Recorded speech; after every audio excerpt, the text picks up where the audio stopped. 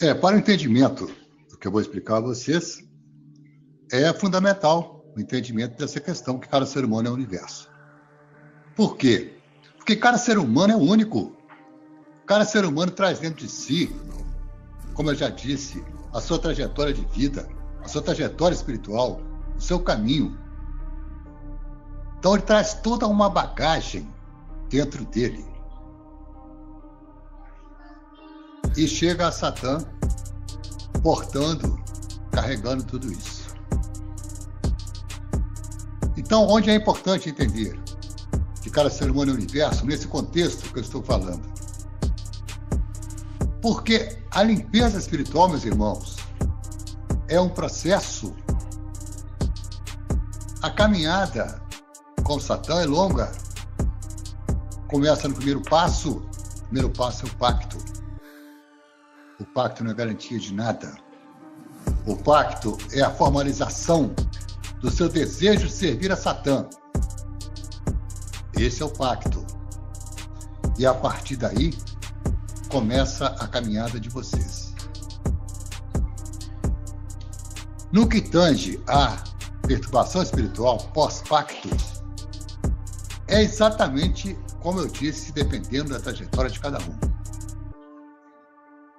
Quando se faz um pacto com o Satã, no satanismo real, inicia-se uma batalha espiritual entre as energias de Satã, de suas hostes, contra as energias que estão instaladas em suas vidas. Aquela bagagem que eu disse que vocês trazem quando chegam diante de Satã. E essa bagagem você não põe para o lixeiro para ele levar, não. Isso tem que ser limpo.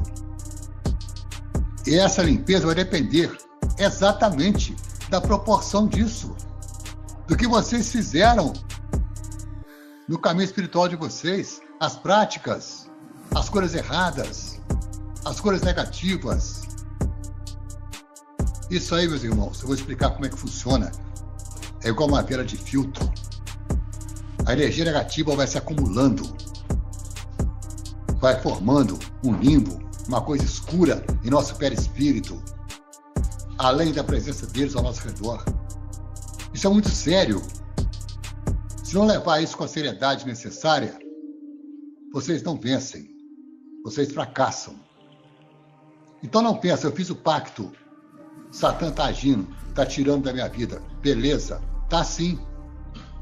Mas faça a sua parte. Faça a sua parte no processo e tenha um entendimento. Olha para trás na sua vida, o que, que você fez, de onde você veio, o que você praticava. Você vai ter a dimensão do tamanho do peso que Satã tem que retirar das suas costas, da sua vida. É exatamente o que acontece é isso. É, olha para trás. Né? Olha para o seu caminho espiritual. O seu pacto é recente.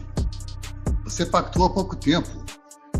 Até recentemente você fazia práticas erradas, seguia orientações indevidas. Eu não, não preciso detalhar aqui, isso aí é pessoal. Mas você sabe. Então você acumulou uma coisa pesada em sua vida.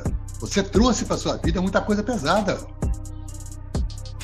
Então, meu irmão, tem que ter a paciência, tem que ter a persistência, fazer e, e enfrentar a batalha. Está só começando.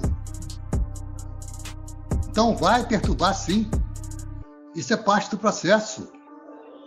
E é na batalha, no combate, que se avalia um guerreiro. Não é na paz, na harmonia, é na guerra. O guerreiro vence se ele for verdadeiro. E ele perde se ele for embuste. Falsos guerreiros não vencem batalhas. Não no nosso meio. Então é preciso ter esse entendimento. A batalha está apenas começando. E eles perturbam de todas as formas, usam todas as armas. Então é o que eu falei. A nossa seriedade, a nossa postura diante de Satã, nosso compromisso com os ensinamentos, com o que nós passamos. E a paciência de esperar o tempo certo. Para tudo tem um tempo. E Satã conhece o tempo de todas as coisas. Então é lutar e vencer. mas lutar da maneira certa.